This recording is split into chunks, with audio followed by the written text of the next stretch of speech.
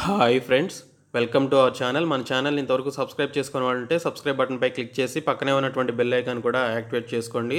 Friends సచివాలయ ఉద్యోగాలకు సంబంధించి చిత్తూరు జిల్లాలో గ్రామ సచివాలయ పోస్టులు అలాగే వార్డు సచివాలయ పోస్టులు సంబంధించి మొత్తం ఆరు వేల నూట ఒక్క పోస్టులు అనేవి మిగిలిపోయాయి.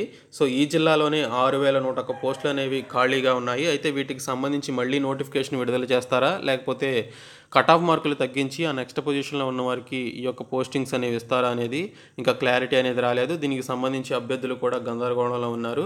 అయితే గ్రామ సచివాలయాలకు సంబంధించి పోస్టుల వారీగా ఎన్ని వేకెన్సీస్ మిగిలిపోయాయి అనేది క్లియర్గా ఇచ్చారు. అలాగే వార్డు సచివాలయాలకు సంబంధించి కూడా పోస్టుల వారీగా ఎన్ని పోస్టులు ఖాళీలు ఉన్నాయి అనేది ఇక్కడ మనకి క్లియర్గా మెన్షన్ చేయడం జరిగింది.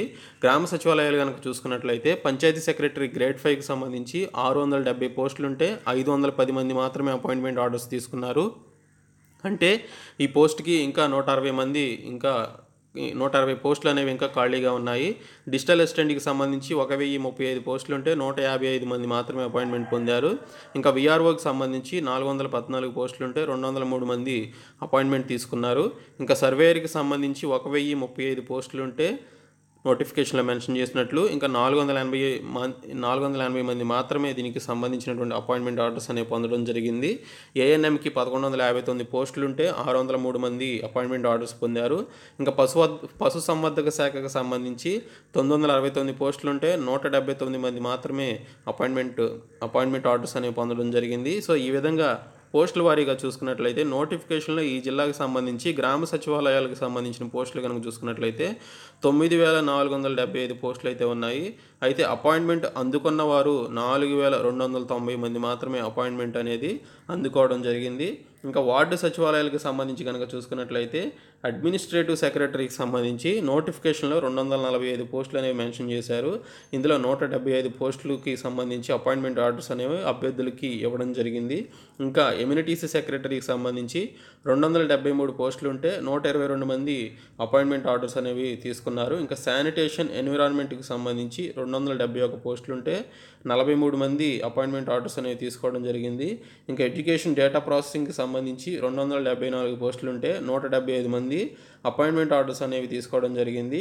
ఇంకా ప్లానింగ్ రెగ్యులేషన్కి సంబంధించి రెండు వందల డెబ్బై మూడు పోస్టులు ఉంటే డెబ్బై ఎనిమిది మంది దీనికి సంబంధించినటువంటి అపాయింట్మెంట్ ఆర్డర్స్ అనేవి పొందారు. వెల్ఫేర్ డెవలప్మెంట్కి సంబంధించి రెండు వందల డెబ్బై నాలుగు పోస్టులు ఉంటే నూట ఒక్క మంది అపాయింట్మెంట్ ఆర్డర్స్ అనేవి తీసుకోవడం జరిగింది.